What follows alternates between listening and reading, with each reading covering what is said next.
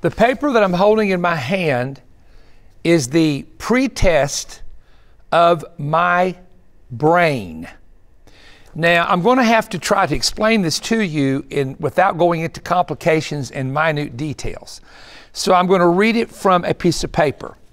Stress overwhelms the balance of the human brain. When you are overwhelmed with stress, what happens is you get in a freeze response or the brain gets stuck. It's like a brake stuck in a car where it doesn't move, so it gets stuck. You then become what is called fight or flight response because everything is stuck. So you're either fleeing something and trying to get away from it or you're fighting something. And what happens is the brain has the ability under the right circumstances to reset itself. Now, obviously, the best way for the human brain to reset itself is what the Bible calls the renewing of the mind, uh, and also by praying in the Holy Spirit. However, there are times when there are other things that might be necessary to assist a person in this particular type of major reset, especially if you've had trauma in your life or you've had a major crisis in your life.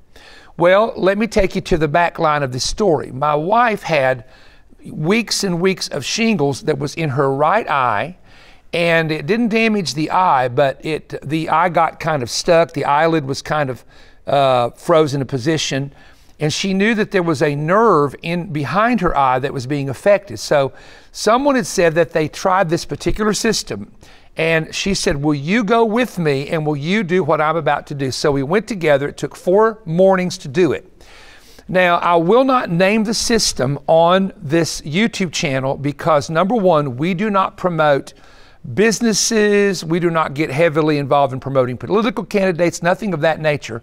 So we don't talk about the system. In fact, they, will cover up the name of this because we do not promote it. Here's the reason why because if someone did it because I did it and it didn't work for them, then they're going to blame me for it not working. And that's not always the case. So that's why we're going to do this.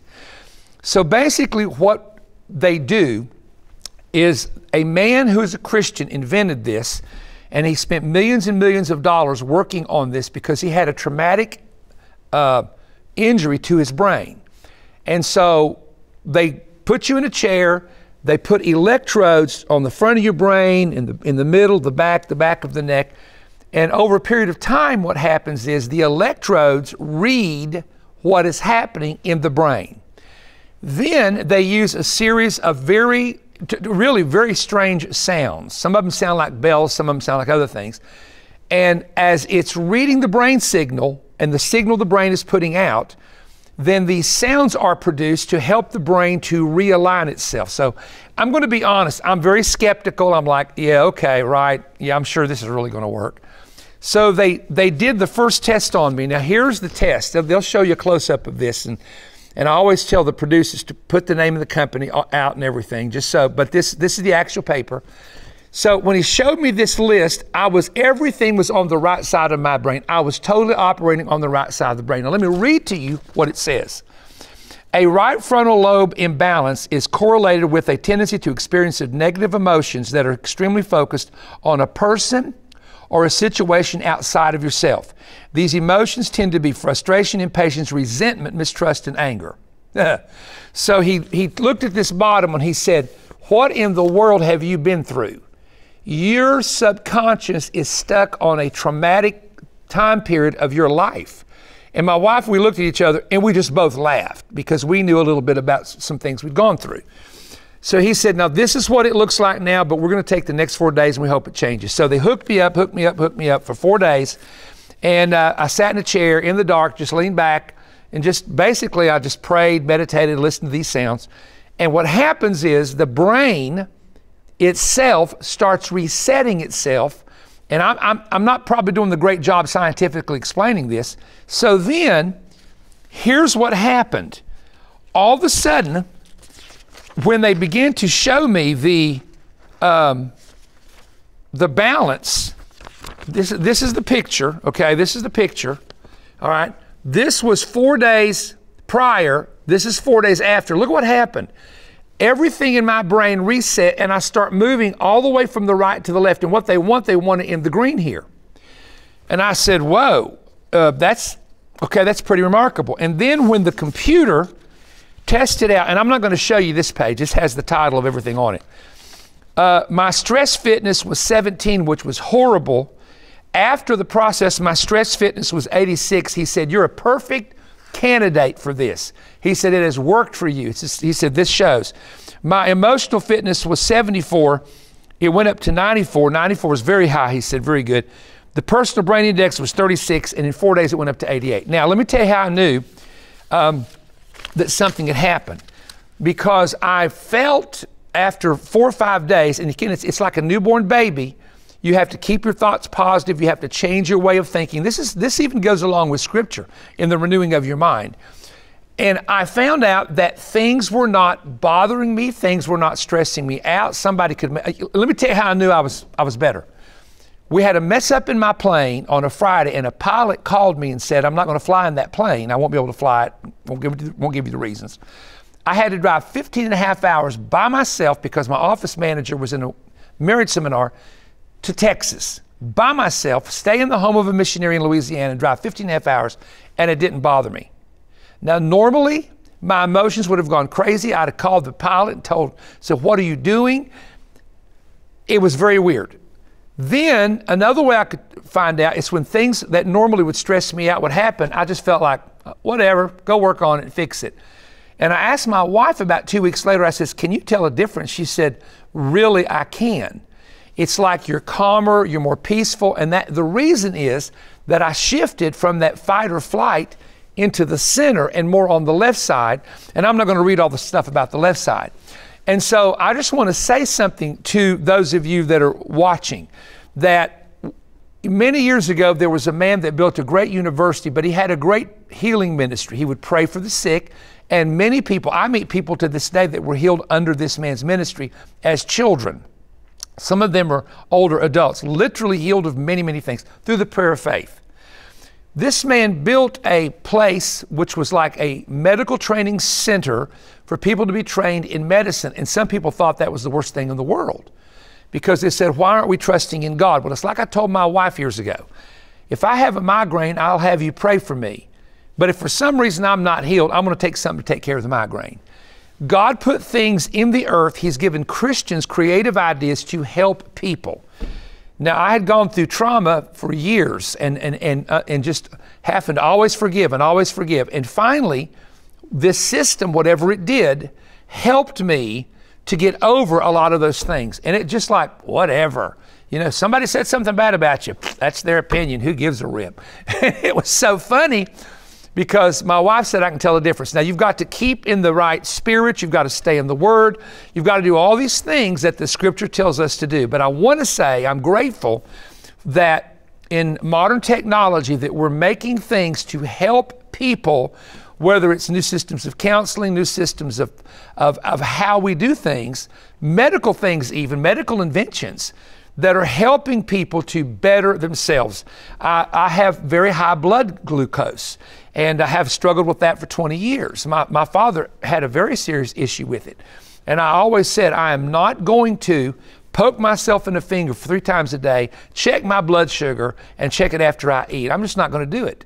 And, and my wife said, Well, you're going to have to either get healed or you're going to suffer. Well, guess what they come up with? They come up with a meter on my arm that I check it on my telephone. See, there's nothing wrong with that. It helps people. And I believe the Lord is into the technology that we have, that knowledge is increased, to being a blessing to helping people. I will say once again in my disclaimer this is not uh, promoting anything or anybody, but I had a reset of my brain. And can I tell you something? It actually felt pretty good to have a reset because now the things that used to aggravate me, the people that I would think about, and I'd get into this uh, animosity, doesn't even bother me anymore. And uh, i want to thank the Lord for that. And I also want to thank whoever the man is that invented this company, who is a very fine Christian man, uh, for, for uh, having that out there. All right. So that's my brain reset. And I know I've got to stay in the Word, adjust my lifestyle, and do certain things to keep keep that uh, keep those positive thoughts going. Amen. Well, I hope you enjoyed this. If you thought it was interesting, hit that thumbs up button and let me know that it was interesting. And uh, we hope to uh, see you all somewhere in, some of our meetings in the future, some of the conventions and conferences that we have here in Cleveland, Tennessee. And uh, God bless you and keep watching because we always have something very special at the conclusion.